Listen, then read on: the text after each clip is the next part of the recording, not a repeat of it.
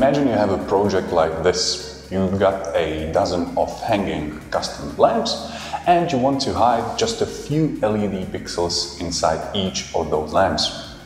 You don't really want to bother with complicated cabling and you want to have your controller pretty far away from your segments. What would a standard workflow on an installation like this will look? Well, I assume that you will take a bunch of LED strips. You will take your controller, your power source, you will connect the first strip and then you will jump to next one. SPI lamp solves this issue.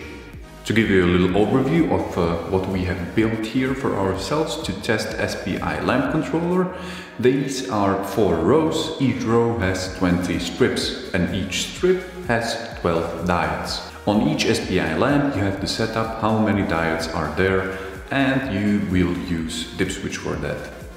You can use any kind of ArtNet generator, whether it is grandMA console or computer software. Our ArtNet to SPI converter, SPI matrix, will handle the data transmission over our custom protocol to the controller. To connect these two together, you use Ethernet cable. This allows for a long-range data transmission since we are sending differential data from SPI matrix.